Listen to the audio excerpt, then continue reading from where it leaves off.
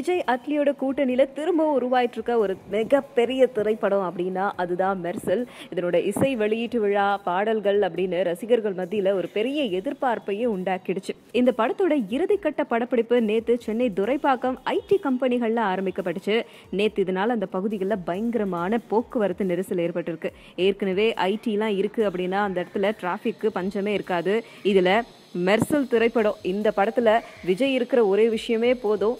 அதுவும் கிளைமேக்ஸ் இருக்கிறாங்க அப்படிங்கும்போது அந்த இடத்துல கண்டிப்பாக கூட்டம் அலைமோதும். அது மட்டும் இல்லாமல் ஒரு பக்கம் விஜய் டப்பிங் பேசுகிறத முடிச்சிட்டாரா? இன்னொரு பக்கம் படத்துக்கு இசையமைக்கிற ஏ ஆர் ரஹ்மான் தன்னோட இசைக்குழுவோடு சேர்ந்து பின்னணி இசைக்கான வேலைகள் எல்லாத்தையுமே செஞ்சுட்டு வராராம். விரைவில் எல்லாமே முடியிற தருணத்தில் எப்போ படத்தை முடிச்சு பூசணிக்காவை உடைப்பாங்க அப்படின்னு எல்லாரும் எதிர்பார்த்துட்டு இருக்காங்க அப்படி பண்ணாதானே கூடிய விரைவில் படத்தை நம்ம ஸ்க்ரீனில் பார்க்க முடியும்?